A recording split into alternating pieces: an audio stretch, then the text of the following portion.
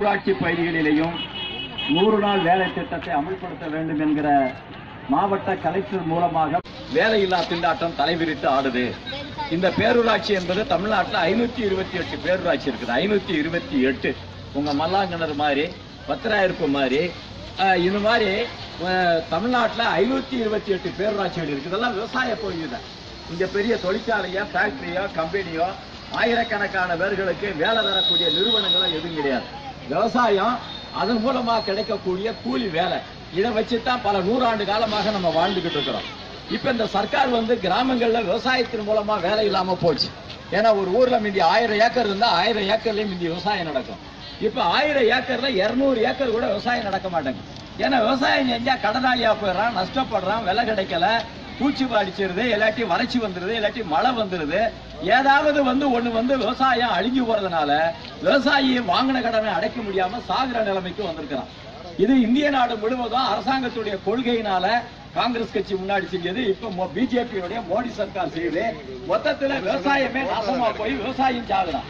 அந்த விவசாய நிலத்துல கூலி வேலை செய்யக்கூடிய நமக்கு விவசாயம் இல்லாம போனதுனால நமக்கு இப்ப கூலி வேலை இல்ல. அதனாலதான் இப்ப நம்ம என்ன கேட்கிறோம்னா இந்த நாட்டுல எங்களை நாங்க போட்ட ஓட்டின் மூலமாக ஆட்சி அமைச்சிருக்கிறீங்க மாநில சர்க்கார் இருக்குது.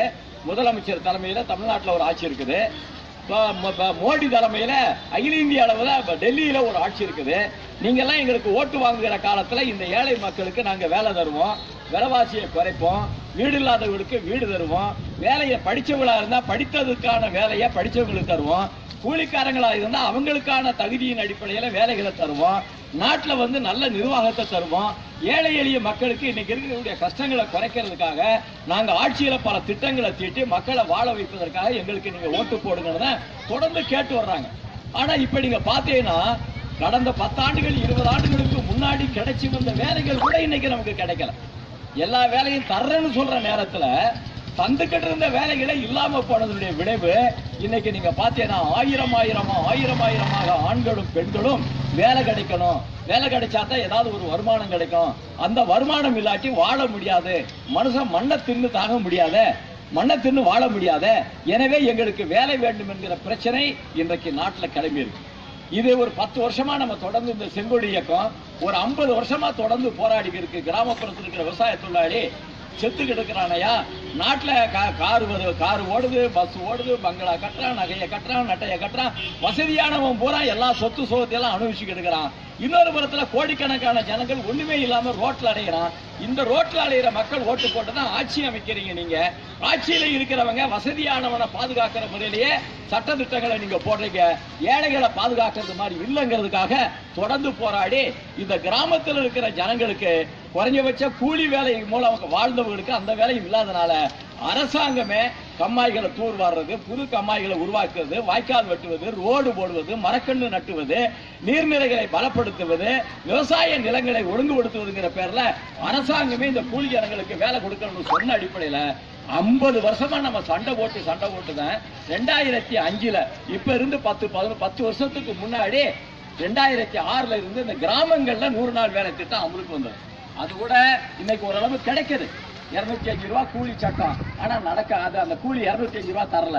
நூத்தி ஐம்பது ரூபா நூத்தி இருபது ரூபா தந்துட்டு இருக்கிறான் சண்டை போட்டு சண்டை போட்டு அதை வாங்கிட்டு இருக்கிறோம் நம்ம தான் நோய் சண்டை போடுறோம். வேலைகள் நூறு நாள் கிடைக்கணும்னு சொன்னது கூட அறுபது நாள் கிடைக்குது ஐம்பது நாள் கிடைக்குது வருஷத்துல நூறு நாள் கிடைக்கணும். இப்ப நாம என்ன சொல்றோம்னா அந்த வருஷத்துல நூறு நாள்ங்கிற வேலையை இருநூறு நாள் ஆக்கு. இருநூத்தஞ்சு ரூபா சட்டக்கூலியா அமலாகாம இருக்குது. அமலாகாமல் இருக்கிறதா அமுல்படுத்து நானூறு ரூபா சட்டக்கூலியா மாத்து. இன்னைக்கு எல்லாம் விலைவாசி ஏறி போச்சு. இன்னைக்கு காலையில நான் கடையில எங்க வீட்டுக்காரமா போய் கடையில நீங்க விருதுநகரத்துக்கு போறதுக்கு முன்னாடி குழம்பு கிளம்பு தாளிக்கணும் பையனும் வேலைக்கு போறான்.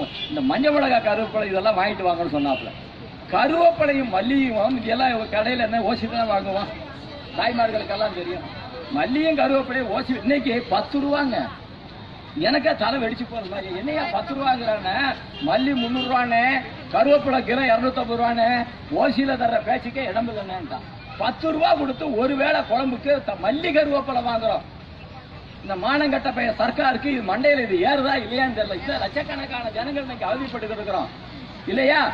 இந்த ஆட்சியில இருக்கக்கூடியவங்களுக்கு அகம்பாவமும் திமுறு மட்டும்தான் இருக்குது. நம்ம கலெக்டர் ஆபீஸுக்கு மனு கொடுக்க வந்திருக்கிறோம்.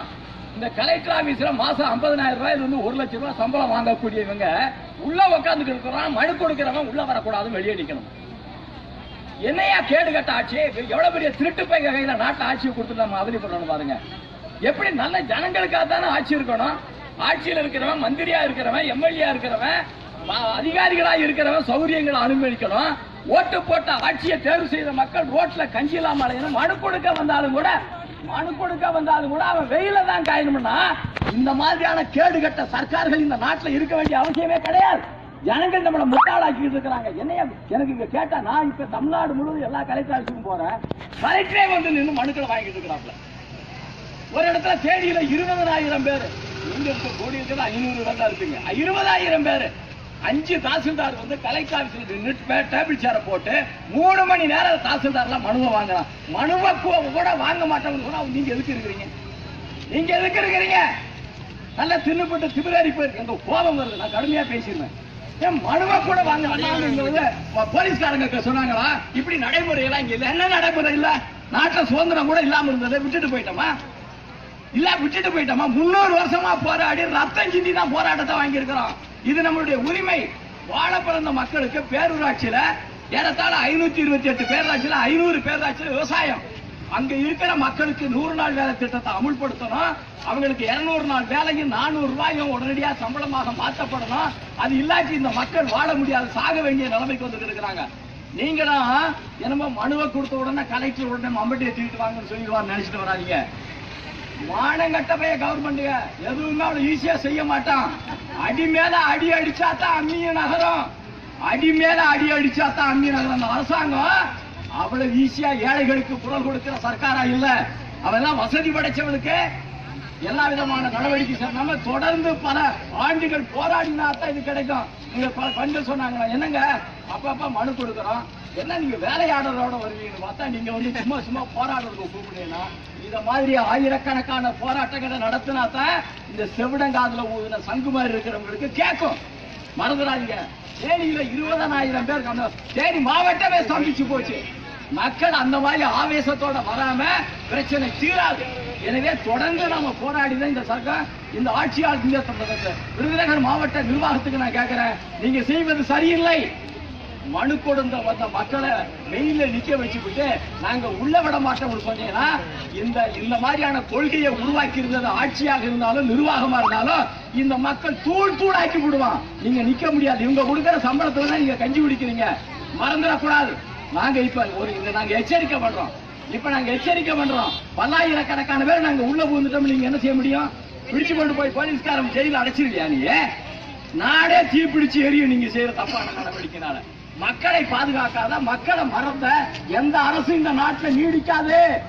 நான் சொல்றேன் அதிமுக சர்க்காரா பிஜேபி சர்க்காரா அல்லது இப்ப இருக்கக்கூடிய அவர் என்ன எடப்பாடி பழனிசாமி சர்க்காரா எந்த சர்க்காராக இருந்தாலும் சரி மக்கள் குரலை கேட்கணும் மக்களை வாழ வைக்கணும். இவன் வந்து பங்களா கேட்கல காரு கேட்கல நகை கேட்கல நட்டு கேட்கல.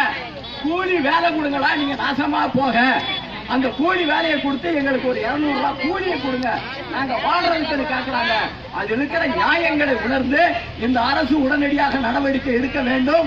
உங்களுடைய அறிவிப்பில நூறு நாள் வேலை திட்டத்தை பேரூராட்சியில நாங்கள் அமல்படுத்துவோம் என்கிற தன்மையில் இந்த அரசு உடனடியாக தங்களுடைய நடவடிக்கை மாற்றணும் மாவட்ட ஆட்சித்தலைவர் இங்க ஏறத்தாழ பத்து பதினாறு பேரூராட்சி இருக்குது. இந்த பகுதிகளில் முழுவதும் நூறு நாள் வேலை திட்டத்தை பரிந்துரை செய்து தமிழக அரசு இந்த மக்களுக்கு நூறு நாள் வேலை திட்டத்தை பேரூராட்சியில் வழங்க வேண்டும் என்று நீங்க பரிந்துரை பண்றதுக்காக தான் மனு கொடுக்க வந்திருக்கிறோம். மனுவை கூட வாங்க மாட்டோம்னு சொன்னீங்கன்னா நீங்கள் எல்லாம் அதிகாரிகளா நின்று நிர்வாகத்தை நடத்துறதுங்கிறத ஜனங்கள் அனுமதிக்க மாட்டாங்க. மறந்துடாதீங்க. ஜனங்கள் வந்து அமைதியா இருக்கிறாங்கன்னு நினைக்கிறீங்களா? அவன் வயிற்றுல எரிமலை கும்பிக்கிட்டு இருக்குது. கஞ்சியும் இல்லாம தண்ணியும் இல்லாம வேலையும் இல்லாம இருக்கிறான். அந்த மக்களை வாழ வைக்காத எந்த அரசுமே இந்த நாட்டில் நீடிக்காது. எனவே நாங்கள் இன்றைக்கு அரசுக்கு நாங்கள் தமிழ்நாடு முழுவதும் போராடிக்கிட்டு இருக்கிறோம்.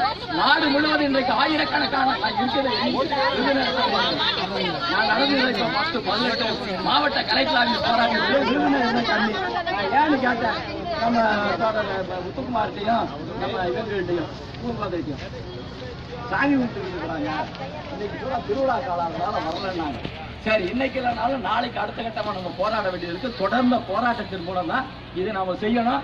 எனவே மாவட்ட நிர்வாகமே இந்த விருதுநகர் மாவட்டத்தில் எவ்வளவு பேராட்சி இருக்குதோ அந்த விவரங்களின் அடிப்படையில முதலமைச்சருக்கு கலெக்டர் வந்து பரிந்துரை செய்ய வேண்டும்.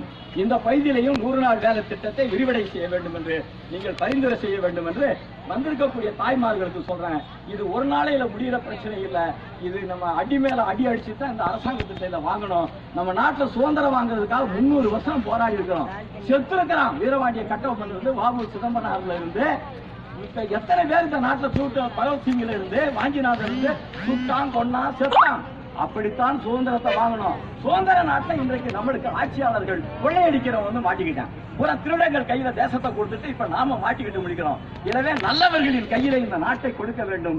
இன்றைக்கு நம்மளுக்காக கொள்கையும் நம்மளுக்கான கொள்கைகளை கோட்பாடுகளை உருவாக்க வேண்டும் என்ற தன்மையில நாம் தொடர்ந்து நடவடிக்கைகளை மேற்கொள்ளுவோம். அந்த தன்மையில இந்த மனு கொடுக்கிற நடவடிக்கை மூலம் அரசு பரிசீலிக்கணும். அடுத்து நம்ம சென்னையை நோக்கி நம்ம போக வேண்டியிருக்கு தேவைப்பட்டால் மோடியை நோக்கி டெல்லியை நோக்கி நம்ம போவோம். நம்ம கூலிக்காரங்க தான். நாம ஒண்ணு சேர்ந்தா நம்ம குரலுக்கு இந்த நாட்டுல இருக்கக்கூடிய வெயிட் எங்கேயுமே கிடையாது. நாம ஒன்று சேர்ந்தா எந்த அரசாங்கமும் படிவதை பணிந்து போவதை தவிர வேற வழி இல்லை என்பதை சொல்லிக்கொண்டு வந்த உங்களுக்கு வாழ்த்து சொல்லி இனி வருகிற காலத்தில் ஆயிரம் ஆயிரமாக நம்ம திரண்டுதான் இந்த ஆட்சிக்கு அச்சத்தை உண்டாக்க வேண்டும் அதிகாரிகளுக்கு அச்சத்தை ஊக்க வேண்டும் என்று கேட்டுக்கொண்டு இந்த மனுக்கூட நடவடிக்கையை துவக்கி வைக்கின்றேன். நன்றி வணக்கம்.